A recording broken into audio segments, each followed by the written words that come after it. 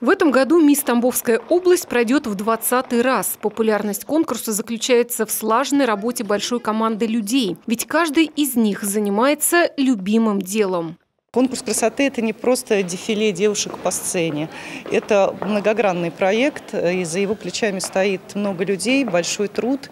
И помимо всего прочего, девушки выходят совершенно обновленные, а, у них меняется характер, они по-другому смотрят на жизнь, они становятся более уверенные в себе, целеустремленные. И совершенно неважно, как я говорю, девушкам, какое место вы займете или не займете. Главное – получить удовольствие от этого процесса. На репетиции выверяется каждый шаг, сделанный под музыкальную фразу. Ведь умение изящно и слаженно двигаться – залог успеха. В финале участницам предстоит выйти не на одно и даже не на два дефиле. Да и без танцев не обойдется. При этом нужно смотреться красиво как всем вместе, так и каждый в отдельности. Не все девушки были к этому готовы, потому что многие думали, что сейчас они придут на конкурс красоты. И это будет такая легкая воздушная история. Здесь они на каблуках походят, там они полубаются. А здесь выясняется, что у них очень интенсивный график репетиций и сложные и физические нагрузки, но и, безусловно, моральные, потому что надо меняться.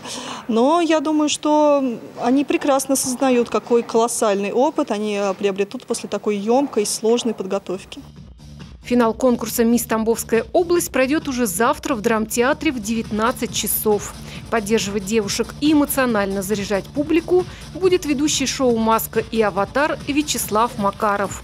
А с музыкальными номерами выступит специальный гость Сивиль из группы «Артик» и «Асти». Елена Хромова, Александр Чекмарев, Ольга Кириллова. Область новостей.